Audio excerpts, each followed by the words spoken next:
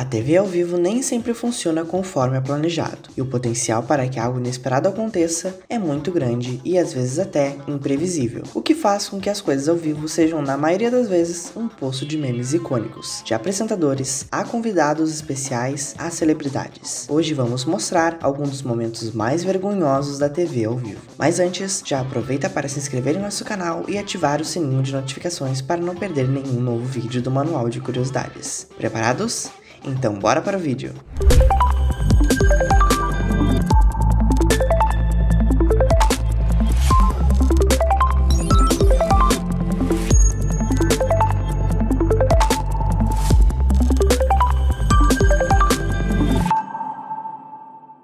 As mazelas do home office. Usar o Skype para conduzir uma entrevista por um home office é uma ideia bem inteligente, mas nenhuma das partes estava preparada para essa famosa gafe quando o noticiário da BBC falou com o professor americano Robert Kelly, ao vivo. A entrevista estava indo bem, até que a porta do escritório da casa de Robert se abriu e sua filha de 4 anos foi correndo atrás dele. The question is how do democracies respond to those scandals?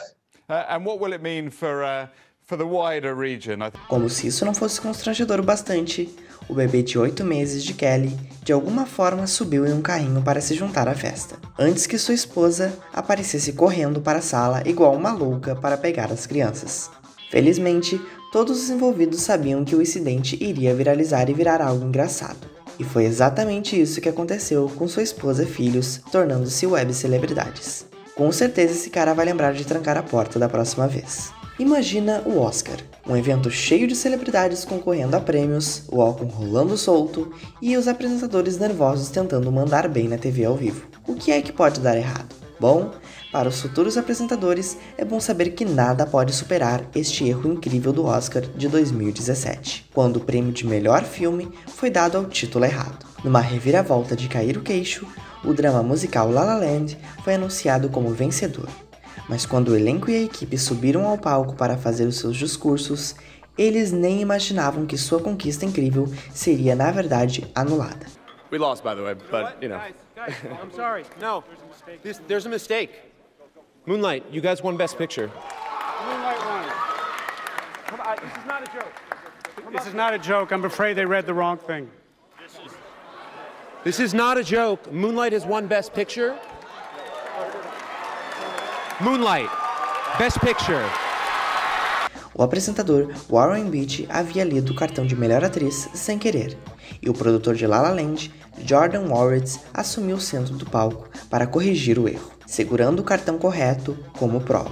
O confuso elenco desse filme, então, teve de se juntar de forma desajeitada ao público do teatro para permitir que Moonlight tomasse conta do palco com o prêmio de melhor filme. Para o bem de todos, não rolou nenhuma rixa entre os filmes e a academia, humilhada, emitiu um pedido formal de desculpas a ambas as partes. Uma ovada ao vivo como vingança. Simon Cowell, um famoso jurado do reality show de talentos, não é o favorito do público, e uma mulher decidiu satisfazer sua vingança pessoal na frente de todos, jogando ovos nesse jurado durante a final ao vivo em 2013. A violinista Natalie Roach estava esperando pacientemente ao lado do palco durante a apresentação dos irmãos cantores Adam e Richard Johnson, quando ela se levantou e começou a jogar ovos na frente do palco. Roach havia participado do programa sem sucesso no ano anterior e planejou a façanha em protesto contra o poder que Cowell tem sobre a indústria da música. Com um grande sorriso no rosto, ela acertou alguns ovos antes de ser empacotada para fora do palco pelos seguranças, deixando Cowell com a cara rachada de vergonha e suja de ovo. Cocô de pássaro ao vivo. A próxima falha da TV ao vivo mostra um repórter falando sobre a superpopulação de pintacilgos canadenses em uma floresta repleta dele. Eu acho que os pássaros não gostaram de ser referidos como uma infestação. An infestation of Canadian brown finches, which is a small per. I guess I should have seen that one coming, huh? E embora o repórter admita que deveria ter visto aquele pássaro vindo, ele deveria ter ficado de boca fechada. Prêmio da MTV sendo interrompido. Kanye West não é conhecido por ser a celebridade mais discreta do mundo, mas ele conseguiu chocar todo mundo durante o MTV Music Awards de 2009, quando subiu no palco durante o discurso de Taylor Swift de melhor videoclipe para anunciar que ela não era digna da vitória. I'm really happy for you. I'm let you finish. But Beyonce had one of the best videos of all time. One of the best videos of all time. Com Taylor sem jeito com a situação, Kanye West pegou o microfone e declarou a Beyoncé um dos melhores clipes de todos os tempos com seu hit Single Ladies. O momento foi mais embaraçoso para Kanye do que para Taylor, já que Beyoncé, junto com o público vaiando, não parecia estar gostando nada dessa atitude. Quem diria que essa relíquia da cultura pop seria o início de uma rivalidade em curso entre os dois artistas que segue até hoje. Já estamos ao vivo? Provando que não são apenas os animais que são responsáveis por momentos vergonhosos na TV, esses dois âncoras da South Africa Eyewitness News foram pegos cantando sem saber que estavam ao vivo.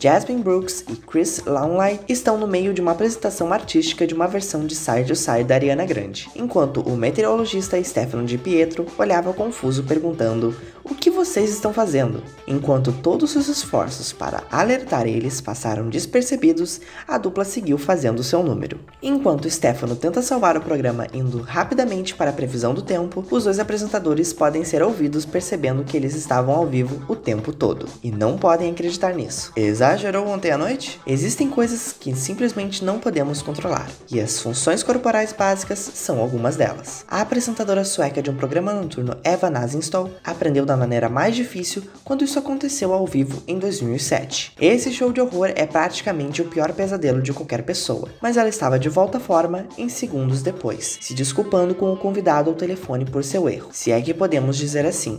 Hej, vet du? Niklas? Hej Niklas, vad har du för mig? Eh, Töll? Ela explicou rapidamente que estava com dores menstruais e ainda conseguiu manter o programa por mais de duas horas. Isso que é profissionalismo. Ninguém pode culpar por vomitar na TV ao vivo de repente, mas com certeza esse próximo erro é imperdoável. O apresentador do American Idol, Ryan Secrets, estava aguardando ansiosamente os resultados da audição do competidor cego, Scott, e quando ele descobriu o que tinha passado, sua reação foi essa aqui. We'll see. We'll see where it goes. I am pumped. As you should be.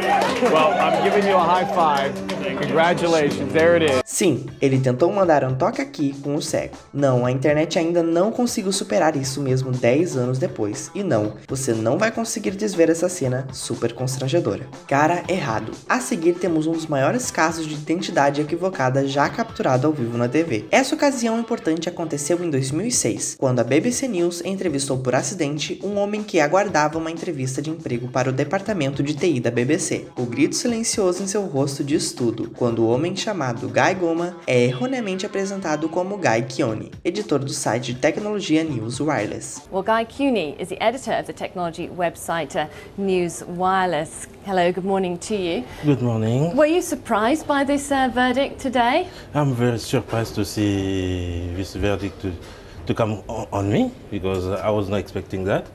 When I came, they told me something else and I'm coming. Em vez de informar a apresentadora Carol Bowerman sobre a confusão, Goma decide abrir caminho na entrevista e faz um trabalho bastante decente. Esse homem estava no lugar errado, na hora errada e ainda conseguiu fazer as coisas seguirem quase imperceptíveis. Isso que é jogo de cintura. Opa, já vai? Entrevistas ao vivo raramente saem conforme o planejado, mas o presidente sul-africano nunca poderia ter previsto isso, pois deu uma entrevista para um programa político no canal Sabe C2 em 2008 e algo muito bizarro aconteceu. Ele deu uma resposta tão, mas tão confiante que sua cadeira cedeu e ele caiu.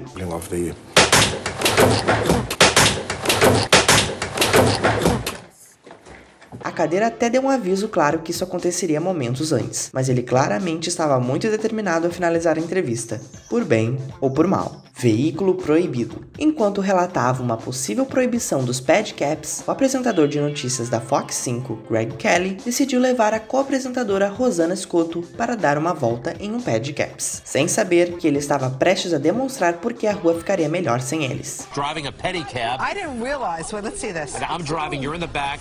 Wow. Oh, what? gee, that guy. Oh, jeez, oh, Pete. Enquanto ele começava a andar pela rua movimentada, Rosana pode ser ouvida gritando: Meu Deus, você precisa de uma carteira de motorista, o que é isso? Então, o pior acontece. O motorista do veículo sai furioso para avaliar os danos e Greg pode ser visto se desculpando pelo acidente, se é que dá para chamar isso de acidente. Iconoclastia ao vivo? Se existe uma cena que pode representar o melhor da vergonha alheia em uma situação intensamente vergonhosa, é essa cena de David Nazar com um escultor de gelo profissional, Roland Hernandes. Nazar entrevista o artista de gelo enquanto ele trabalha em uma escultura ao vivo em uma feira da cidade, que ele disse que irá para Freezer mais tarde. Então o repórter decidiu dar uma olhada mais de perto na obra de arte. E é aí que as coisas ficam um tanto problemáticas. Why is this your pro? Oh, oh my God! I am so sorry. I, I am. I'm so sorry. Dude, are you serious? I'm so sorry. It was just an accident.